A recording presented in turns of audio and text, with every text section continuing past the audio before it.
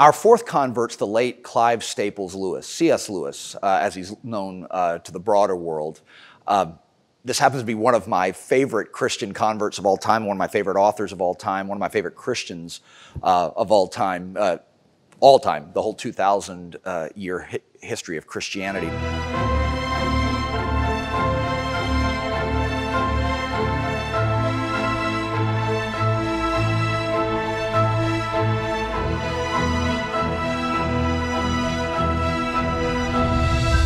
Lewis had a, a mild uh, Roman Catholic background that largely got blown away when his mom died of illness and God didn't answer his healing prayer uh, for his mother.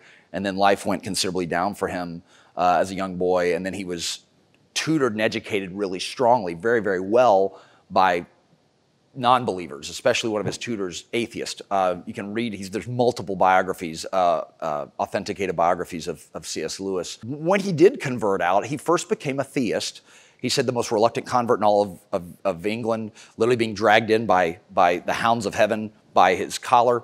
Uh, but he felt first the pangs of his naturalism and his atheism, being first smug and prideful, and then not making sense of a lot of his reality, not really helping him understand more consistently the things that made human life worth living. And then after a walk with his friend Dyson and J.R.R. Tolkien, he went with his brother Warnie to a zoo and committed his life not just to theism, but to Christian theism and came all the way in and then became one of the most prolific Christians. He's arguably the uh, greatest apologist and uh, Christian uh, intellectual of the 20th century.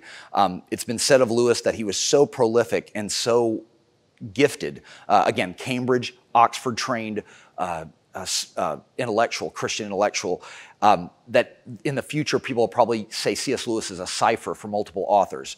He did fantasy, uh, he did sci fi, uh, he'd do poetry, he did apologetics, he did some philosophy, and then he'd stick with his thing uh, analysis of ancient and medieval literature.